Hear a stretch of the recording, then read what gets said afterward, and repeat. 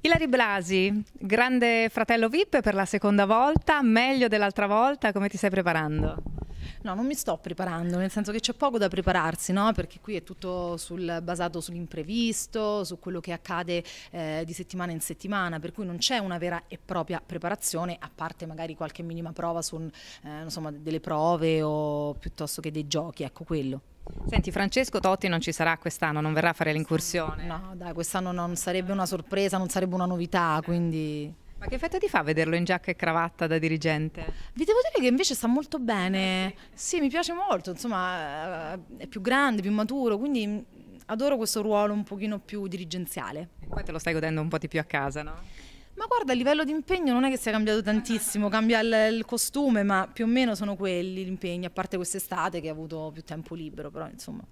Grande Fratello VIP, torniamo qui e mh, tra le novità di quest'anno c'è la Jalapas Band che tu conosci benissimo.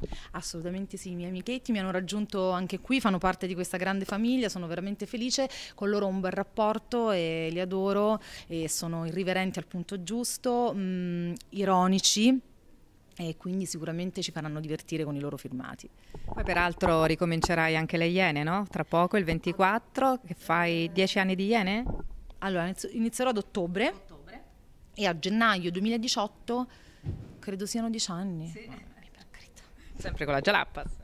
Con la Jalappas, si ritornano quest'anno con noi, quindi sono sempre con loro, core a core. Grande Fratello VIP è stato definito piacevolmente trash. Uh, te che rapporto hai con il trash? Ti piace? Ti diverte? Assolutamente sì. Eh, cioè, poi è bello comunque mischiare il trash, il pop, eh, a momenti anche magari un pochino più eh, emozionanti o di riflessione, perché comunque sono storie di vita, anche se sono VIP, eh, cioè fanno le stesse cose che facciamo tutti. Per cui, insomma, questo bel mix ehm, piace a me, ma piace insomma anche a voi che lo, che lo guardate. L'ultima cosa è il personaggio che ti incuriosisce di più di questa edizione?